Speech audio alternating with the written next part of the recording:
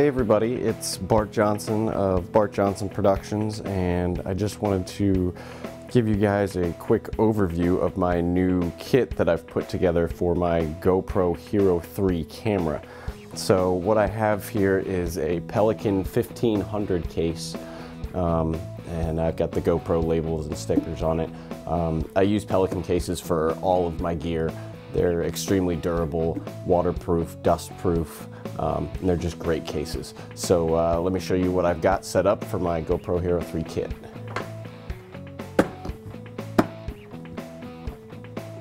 All right, so in the kit here, I have pretty much everything you could ever need for any situation um, in the field using the GoPro camera. Um, I have the camera itself right here and everything else is just support equipment. Um, and I'll work through letting you know what I have in here. Um, I have the case set up with the pick and pluck foam. Uh, the foam is separated so that you can create your own custom um, pockets to fit all of your equipment in. So what I have here in the corner is I have the Wi-Fi remote that came with the GoPro Hero 3 Black Edition.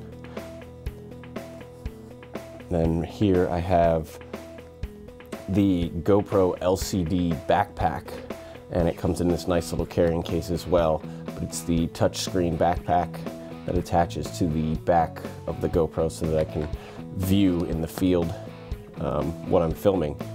And then of course I have the GoPro itself here and I have a, uh, a nice little lens cover for it. And that goes right in there.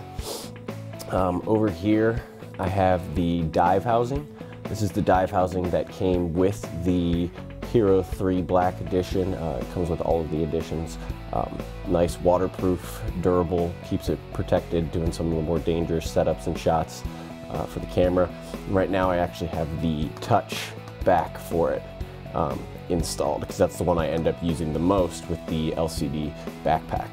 Uh, so this allows me to have it inside the case and I can still use the touch functions of the LCD screen. And moving over here, I have two screws. These are the two long screws. Um, I have these screws set aside because these are basically the most important screws. These are the ones that you use to actually mount the camera to any of your other mounts. So I keep these screws out and separate so that I can easily get to them.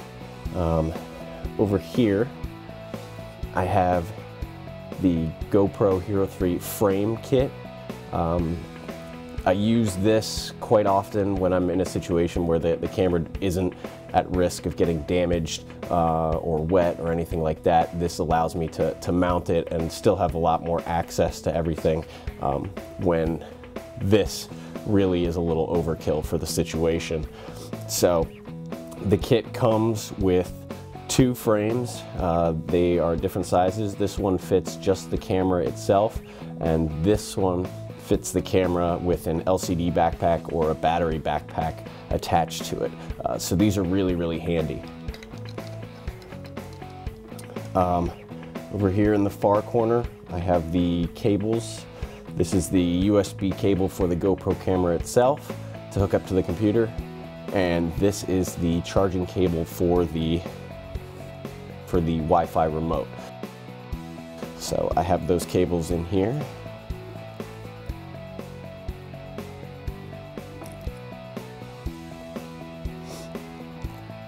And moving down here, I have all of my additional doors and uh, back doors for the dive housing. Uh, these are the open doors that fit the backpacks. These are the closed waterproof doors, so you never know what situation you're gonna be in, so I like to always have these extra doors handy for any situation. Um, here I have five GoPro batteries. One of the biggest problems with the Hero 3 is that the battery life is, is really terrible. It usually only lasts about an hour to an hour and a half, and they do take a long time to charge. So I like to keep five fully charged batteries on hand, and I have one battery that is the GoPro brand that came with the camera itself, and the other four are actually Wasabi Power. This is a kit that you can get on Amazon relatively cheap, and it's they're fantastic replacement batteries. They work fantastic. So uh, I picked up a bunch of those to make sure. And another part of that Wasabi Power kit is that it comes with a wall charger. So the wall charger is quite handy. Uh, it'll charge up the regular GoPro battery as well as the Wasabi Power brands. So this thing is excellent to have. And it also came with a European plug adapter uh, to be able to plug it into the wall. And this is a car charging cable that came with it. So it's got everything you need to be able to charge pretty much anywhere in the world, anywhere you may be. So then the next most important thing, of course, is media. Here I have a Pelican 0915 case. Uh, these are really handy. I use these for all of my media cards. This one is specifically set up for the micro SD and SD cards. These are actually adapters that came with the SanDisk micro SD cards. So I keep all of my media here um, in another smaller Pelican case. Nice wallet sized, can pop it in your pocket uh, if you need to swap out a card while you're on set. So the next thing I have here, these are actually tethers that I made myself. Um, I have them clipped together nice and organized here. And what they are is they're actually coated wire rope. Uh, it's rated up to 98 pounds. But uh, I made four of these and I have them in four different lengths. I have one foot, two foot, three foot, and four foot tethers.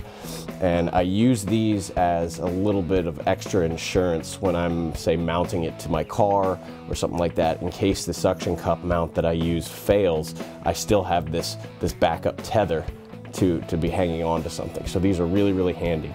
And I made these myself. You can do it relatively cheap. I think it was about $9 for all the materials to make these. And one thing you wanna make sure is that you get the coated wire rope.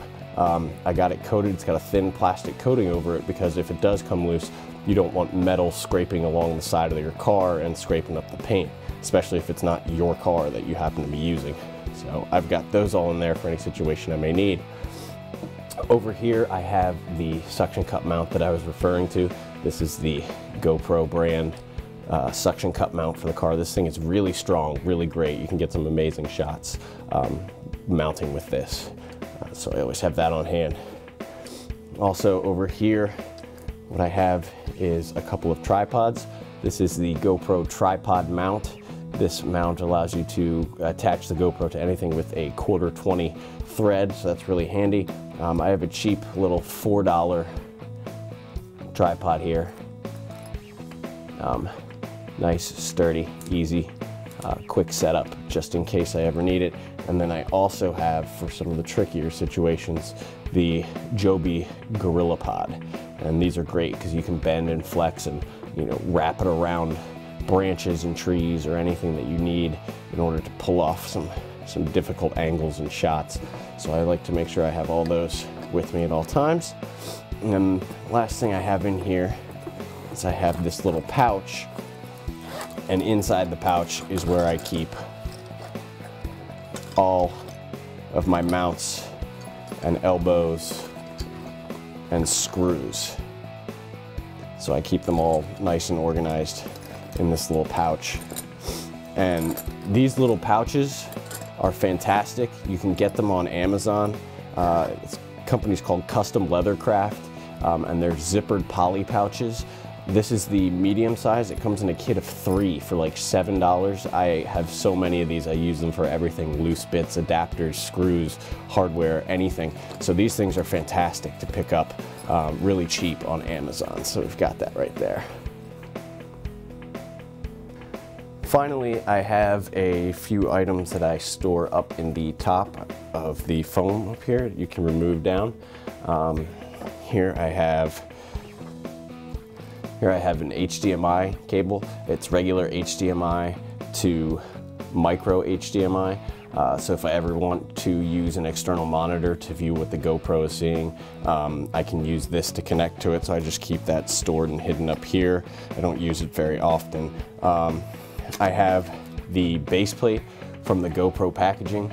As everyone knows, uh, there's tons of videos and reviews online of everybody saying how handy this thing is and to definitely keep it. You can use it to clamp into any situation and you've got a, it's just another free mount. So I don't know why you would get rid of it. So make sure to hang on to that definitely when you get your GoPro. And last, I have another one of those custom Leathercraft zippered poly pouches.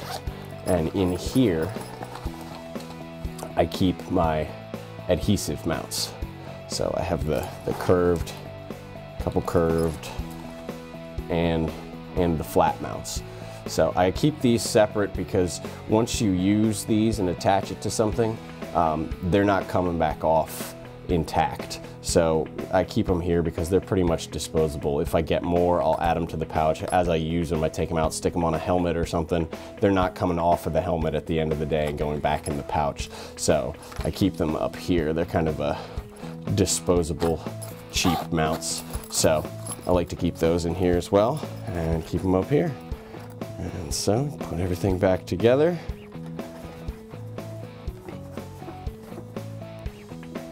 And so that's everything that I have in my Pelican case uh, kit for my GoPro Hero 3.